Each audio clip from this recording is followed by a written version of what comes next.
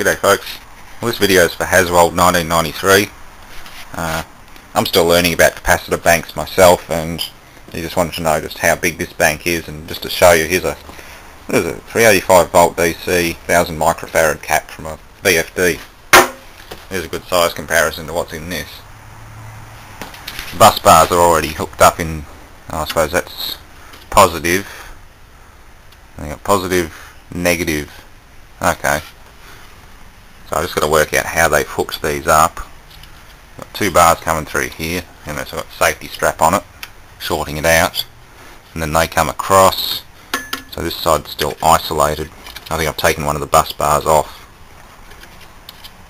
Motor 1, motor 2 or something. Uh, not sure how to hook this one up. I haven't done a lot of work with capacitor banks. I know single capacitors pretty well, but big stuff like this, well, it's very easy to either blow it up or blow yourself up. And right now I'm not that fluent with the uh, capacitor side of things, so this one's just been sitting in storage, that's all. Just thought you might like to have a look at it. Each cap is 20, I think they're 2800 microfarad Philips caps, 450 volt DC with maximum surge of I think 550.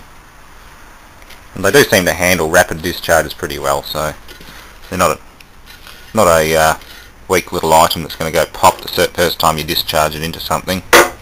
Even these ones are good.